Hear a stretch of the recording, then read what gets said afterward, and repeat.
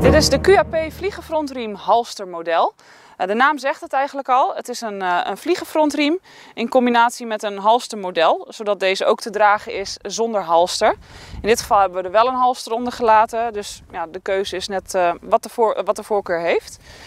de vliegenfrontriem beschermt het paard zijn ogen tegen de vliegen omdat de sliertjes non-stop in beweging zijn als het paard aan het grazen is of in beweging is, uh, zullen de vliegen schrikken en uh, niet op het oog gaan zitten.